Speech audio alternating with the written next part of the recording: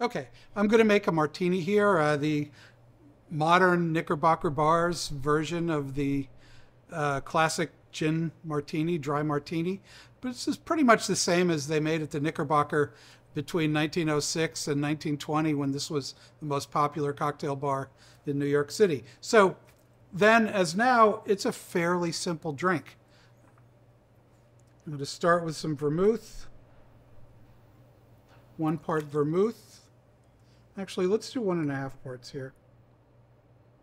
Because our cocktail glass is a little large. And my jigger is very old and very small. And then let's do two and a half of gin, a couple dashes of orange bitters.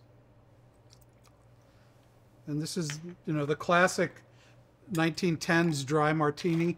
Had a lot of vermouth in it, but not an insane amount, and uh, used some fairly hefty, strong gin.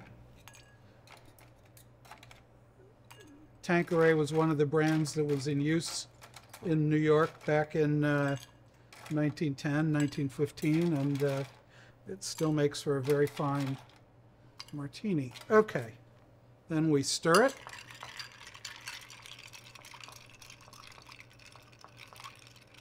Let's give it a nice long stir.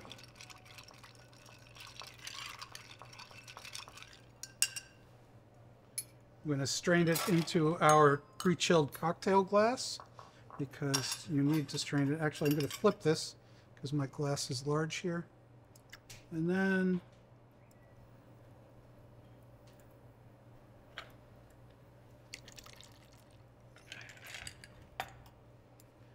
and we end with one of these lovely lemon twists. Now you can either discard this or slip it in. I always like to slip it in. Cheers. Hmm. Boy, that's good.